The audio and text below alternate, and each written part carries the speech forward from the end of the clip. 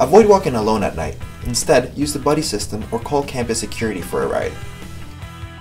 If you can't avoid walking alone or heading to an unfamiliar location, then load a personal safety app such as Noonlight, which was developed for college students.